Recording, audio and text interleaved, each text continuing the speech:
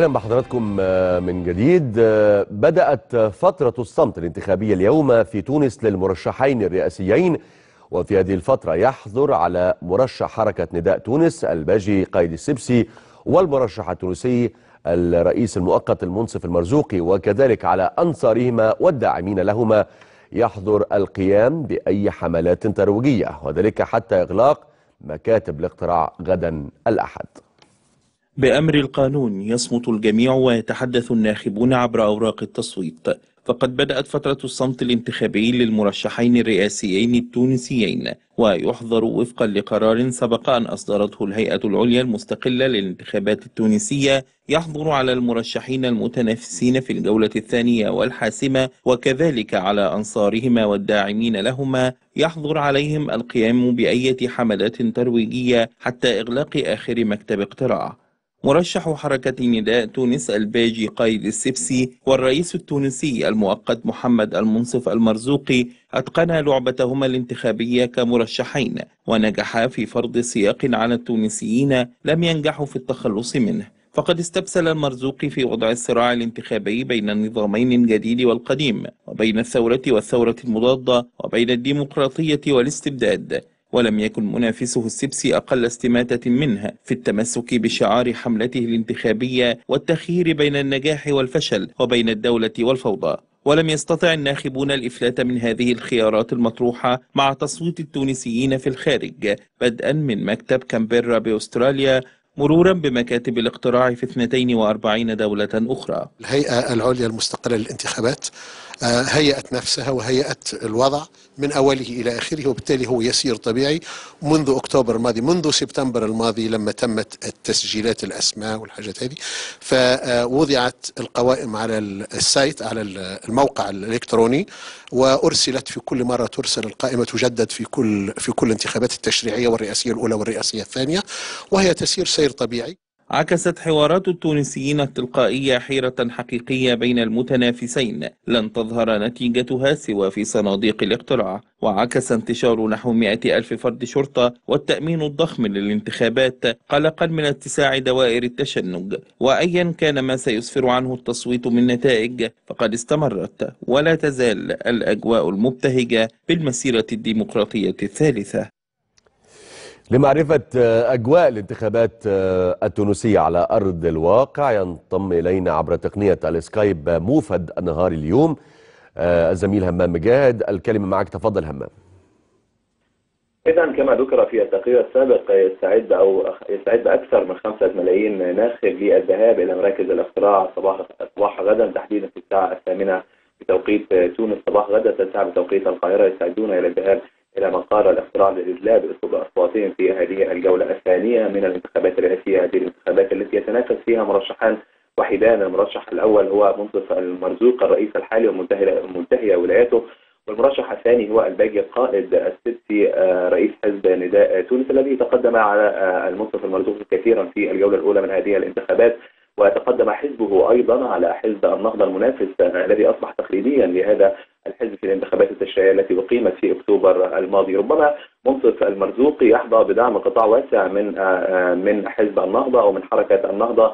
وضح ذلك جليا في الجولة الأولى من هذه الانتخابات الانتخابات الرئاسية حيث حصل المنصف المرزوقي على معظم الدوائر التي نجح فيها مرشحه حزب النهضة في الانتخابات التشريعية برغم ما أعلنه رئيس حركة النهضة راشد الغنوشي بأن حزبه يقف مستقلا أو يقف بعيدا عن هذا الصراع الرئاسي الذي سوف يحسم تحسم نتائجه في الغد. من الناحية الأمنية والوضع الأمني هناك استعدادات أمنية مكثفة في الشارع التونسي وعلى الحدود تحديدا مع ليبيا حيث قررت الحكومة التونسية مساء الخميس غلق معبر رأس كدير الذي يربط بين تونس وبين ليبيا خشية من الفوضى الأمنية التي تقع في الجانب الليبي. أيضا هناك شريط فيديو بث منذ يومين على مواقع التواصل الاجتماعي وعلى الإنترنت. تبنى فيه جهاديون ما يسمى جهادي وما يسمى بتنظيم الدولة الإسلامية اغتيال الناشطان السياسيان بلعيد وإبراهيم الذين اغتيل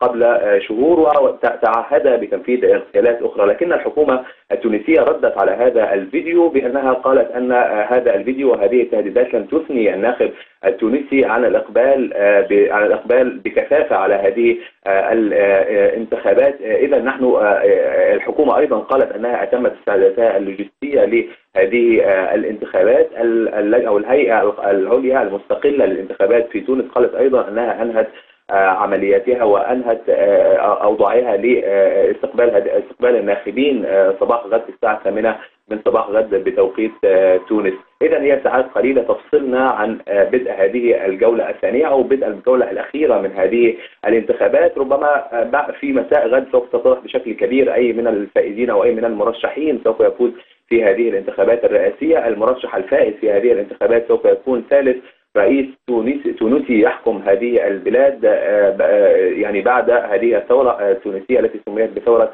الياسمين في في عام آه، 2011 من الملاحظ أيضا أن يعني مقارنة بالانتخابات التشريعية ومقارنة بانتخاب- بانتخابات المجلس التأسيسي فإن أعداد الناخبين أو أعداد الذين يذهبون إلى مراكز الاقتراع في انخفاض حيث يعني سجلت مراكز الاقتراع في ال- الانتخابات التشريعية نسبة 68%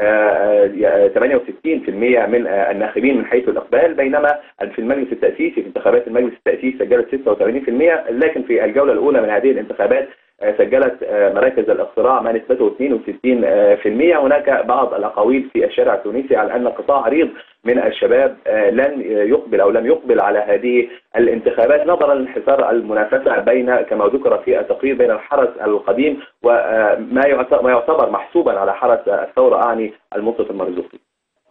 سنظل معك آه، موفد نهار اليوم همام مجاهد من تونس لمتابعة أجواء هذه الانتخابات والمؤشرات والنتائج الأولية آه، لحظة بلحظة عبر النهار اليوم. شكرا جزيلا همام.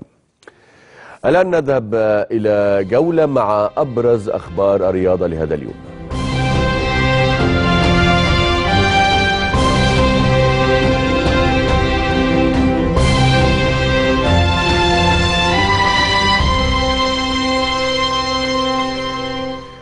تقام اليوم ثلاث مباريات في إطار الدور الممتاز أو الدوري الممتاز لكرة القدم حيث يخوض النادي الأهلي مباراة مؤجلة من الأسبوع الثاني مع فريق وادي دجلة على ملعب الدفاع الجوي ويحتل الأهلي المركز السادس برصيد 20 نقطة من تسع مباريات. بينما يحتل وادي دجلة المركز الثالث برصيد 24 نقطة من 12 مباراة. كما يلتقي حاليا انبي صاحب المركز الثاني وحرس الحدود صاحب المركز العاشر ولدى انبي 29 نقطة من 12 مباراة بينما لدى حرس الحدود 19 نقطة من 13 مباراة. يناقش يناقش كل من وزير الداخلية اللواء محمد إبراهيم ووزير الشباب خالد عبد العزيز ورئيس اتحاد الكرة المصري جمال علام بعض مقترحات التأمين ونسب حضور الجماهير لمباريات الدوري. ويبحث المسؤولون خلال لقائهم بوزارة الداخلية غدا الآثار الإيجابية لعودة الجماهير للمدرجات المصرية بعد ظهورها بشكل مشرف خلال نهائي البطولة الكونفدرالية باستاد القاهرة الدولي.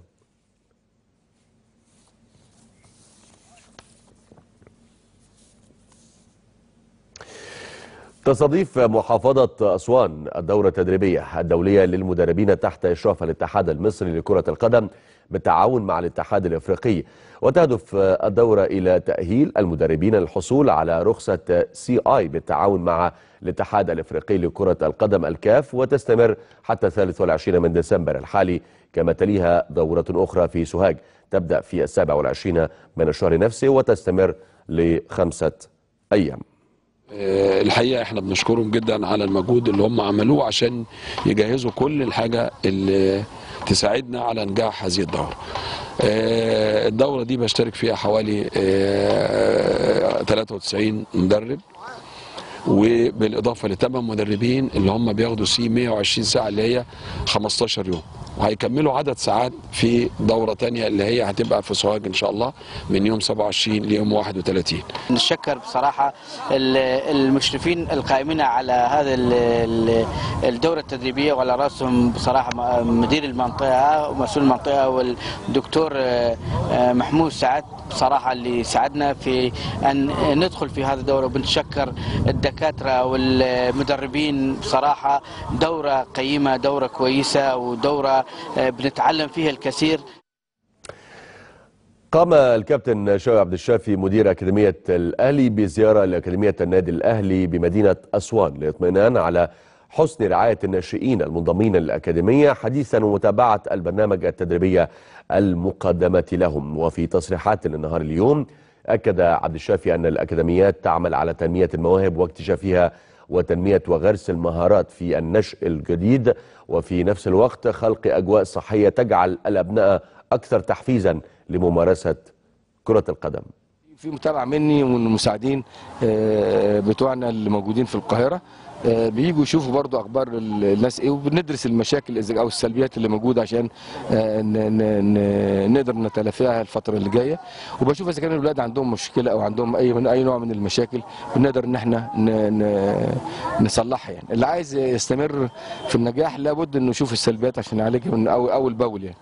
إنما ال الولاد ال- ال- العدد المناسب والمجهود المبذول من المدربين ورئيس ومدير الفرع كابتن حمدان. حاجة كويسة وإن شاء الله يبقى في استمرارية بإذن الله.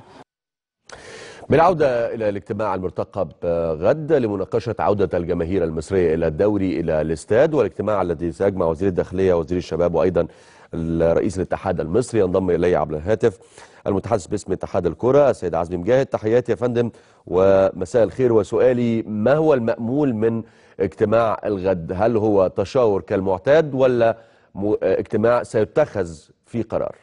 بص حضرتك هو في طبعا تنسيق من فترة طويلة جدا ما بين اتحاد الكوره ووزارة الداخلية بشأن دخول الجماهير. مم. دخول الجماهير آه، مرتبط بأشياء كثيرة جدا منها أول حاجة ال- ال- الوضع الأمني في في مصر.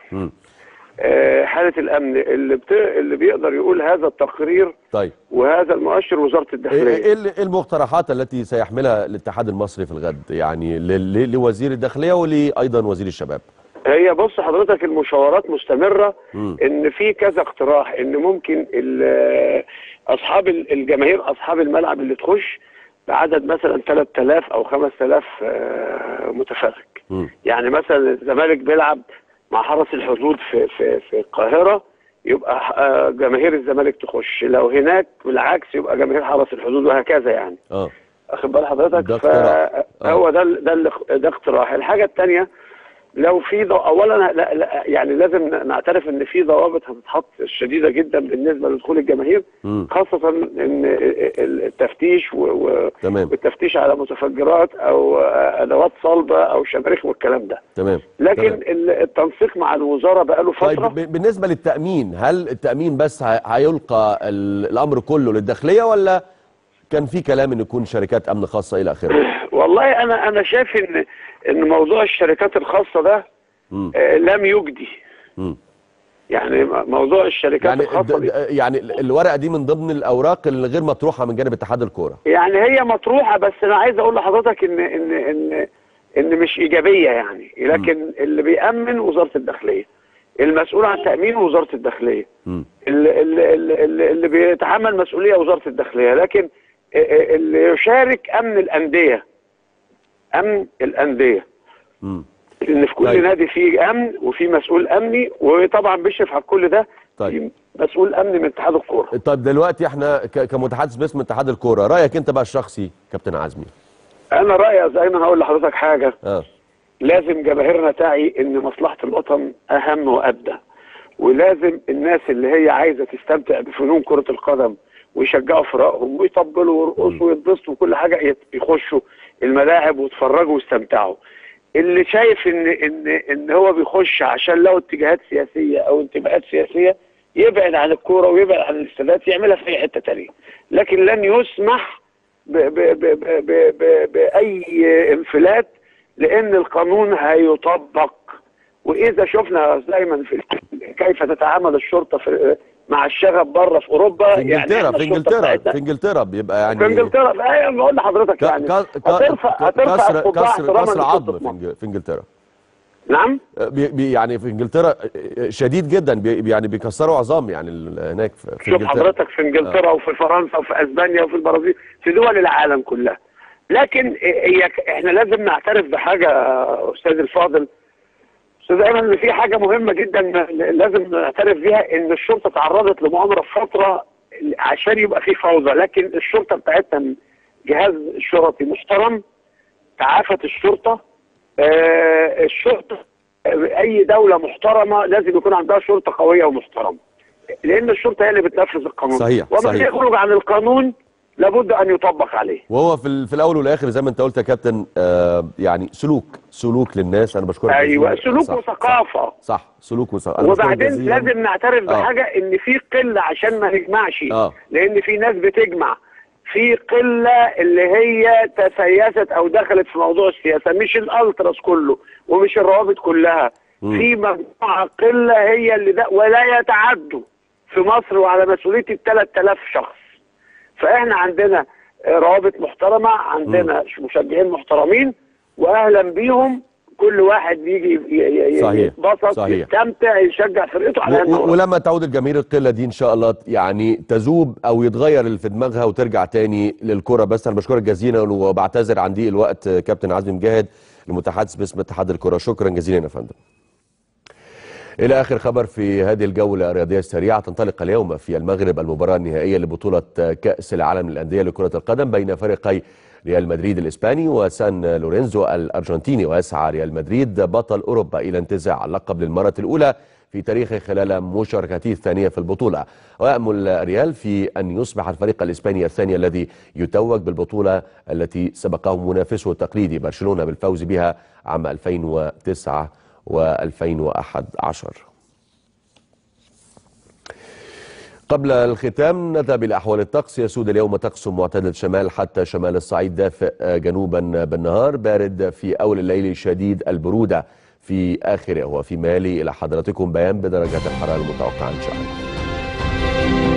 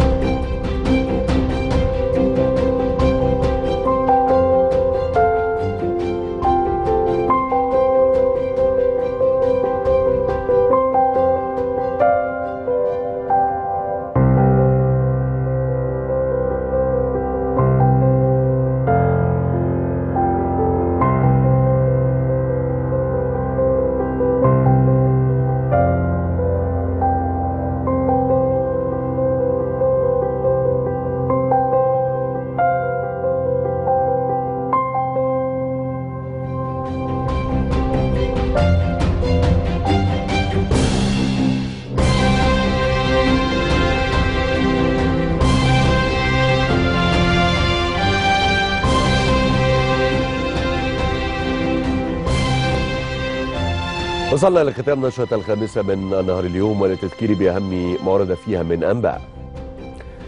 محلب يشيد بمشروع معا لتطوير العشوائيات ويؤكد دعم الحكومة للمجتمع المدني.